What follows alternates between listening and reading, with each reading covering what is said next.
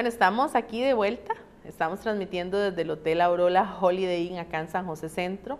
Agradecemos profundamente a la administración del hotel por abrirnos las puertas de su casa. Recuerde visitarlos en Facebook también. Y ayer yo le estaba hablando sobre el Salmo 23.1 donde habla que el Señor es mi pastor y nada me faltará. Y yo le decía a usted que yo soy testimonio vivo de que cuando estamos con Dios, nada nos falta. No nos falta el alimento, no nos falta el trabajo, no nos falta la salud. Muchas veces Dios toca áreas de nuestra vida como diciendo, hola, aquí estoy, ¿verdad? Pero Dios siempre está al control.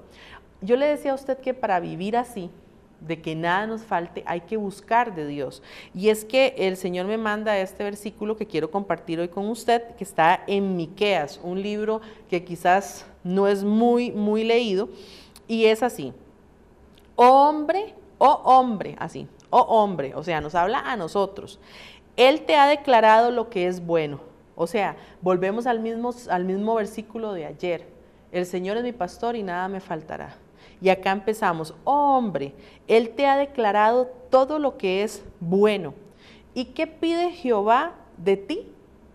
¿Qué pide Jehová de ti?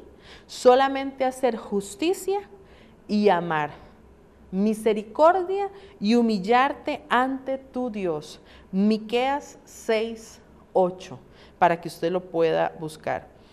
Qué lindo que es gozar de la buena salud, qué lindo que es gozar de las buenas finanzas, qué lindo que es gozar de una, de una vida en paz. Pero para primero tener eso, la misma palabra de Dios nos dice, buscad primeramente el reino de Dios y su justicia y todo lo demás vendrá por añadidura. ¿Y qué pide Dios de nosotros?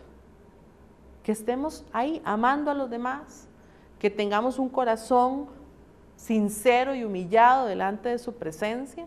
¿Qué es un corazón humillado? Porque de repente la palabra humillado es como chocante. Un corazón humillado es cuando ya el ser humano pasó por todos los procesos, quiso hacerlo bajo sus propias fuerzas, pero al final de la historia nada le salió bien o no encontró esa llenura que uno anda buscando. Y es cuando podemos humillarnos delante de su presencia y decirle, Señor, es que yo no puedo mis fuerzas. Con esta situación no puedo, yo te la entrego. Entonces, ahí en Miqueas, el Señor es muy claro y dice, hombre, ¿y qué pide, qué pide Jehová del hombre? Amar, que sea justo. Hoy día hay una ola de violencia, una ola de estrés. Mire, el corazón nunca nos engaña. El corazón sabe cuándo estamos siendo justos y cuándo estamos siendo injustos. Y quizás usted de repente pueda parecer injusto o injusta para alguien, pero si su corazón está tranquilo, usted esté tranquilo con Dios solamente, porque hoy día la gente es muy manipuladora y quiere siempre hacerle quedar mal a usted. Y en medio de eso usted tiene que tener los pies sobre la tierra y entender ¿Qué es lo que Dios busca de usted? Entonces, tres cositas. Ayer hablamos de que el Señor es mi pastor y nada me faltará. Qué rico disfrutar de esos beneficios, ¿verdad? El Señor es mi pastor y nada me faltará. Pero ¿cómo obtengo eso? Bueno, obtengo eso dándole el primer lugar a Dios. Y hoy en Miqueas, ¿qué nos dice el Señor? Que el Señor siempre nos va a dar todo, pero que vivamos en justicia, que vivamos en amor. Entonces, ¿en qué se resumen los dos versículos de ayer y hoy?